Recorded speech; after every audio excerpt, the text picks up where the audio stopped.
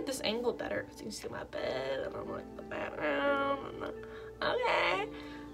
Okay. I don't know what that was, but let's just get into the video. Hey,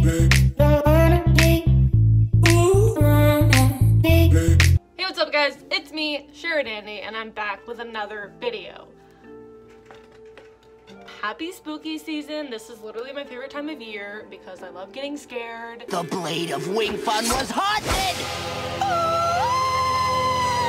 I thought it would be fun to do like a get ready with me type video while I tell you what you have to watch this Halloween on the streaming platforms. This was the finished look, but I forgot to film the intro after I finished the makeup. This is like the three hours later look after I've rubbed my eyes. So this video will be split into three parts by streaming platform. I will include a timestamp for your convenience. First, we're gonna do Netflix. I would recommend Poltergeist, the 1982 movie. I mean, it was written by Steven Spielberg. It's classic, let's be real. Next is Green Room, which is totally freaking terrifying. Let me tell you what it's about. It's about some crazy killer white supremacists. I mean, that sums it up pretty well. So I live in Texas and the state's huge, obviously, but there's so many small towns. I'm like convinced there's some crazy white murdering guys in these small towns. So pass on that. But Green Room is so good. My homeboy Anton Yelchin is in it. So good. Good as in gory and terrifying. Next, the classic 1981 The Evil Dead. So I personally like the remake better than the original, but obviously you can't have a remake without an original.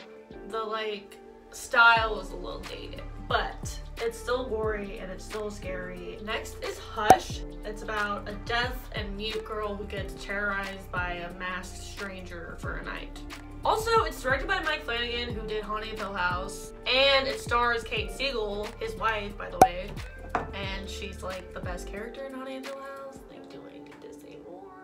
Next, As Above, So Below. It's about these kids who go into the French catacombs and encounter some scary and it's terrifying, gave me nightmares.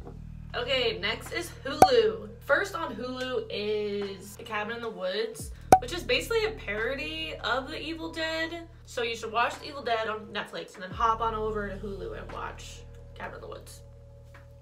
It's not really scary, but it's good. Next is Oculus, which isn't my favorite, but it's directed by Mike Flanagan, and I love him. Next is The Omen. It's the 2006 version, which isn't as good, but it's still creepy. Next is Omen, which basically follows the soldiers who like find these weird people that were being experimented on by the Nazis. So it's like really creepy. It's really gory. I would only suggest watching it if you like like horror movies because it's not really a good movie for like the casual horror movie watcher. Moving on, Let the Right One In, which is a Swedish movie. If you don't mind subtitles, I definitely recommend it. And there was an American version, but it's. Basically about this child vampire or something. I don't know. Coronavirus!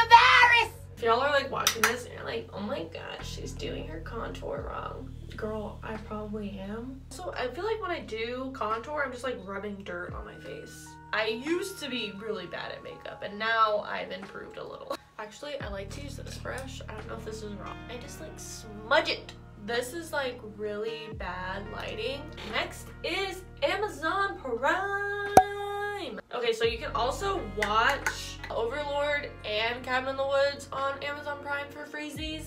Okay, first you have to watch Hereditary. I'm gonna make a video about it probably. So scary. Also, Midsommar is on there. And that's also directed by the same guy who directed Hereditary, Ari Aster. That guy, he is a crazy person. Like, I don't know if I'd want to meet him in real life.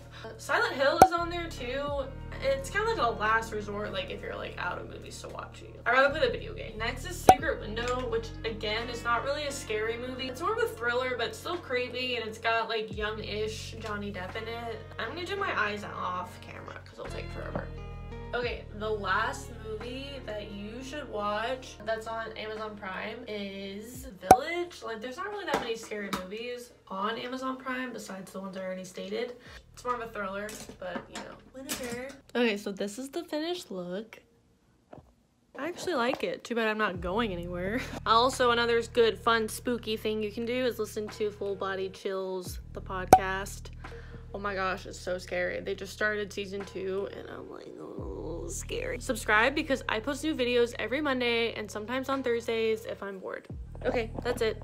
Bye. Say bye, Lily.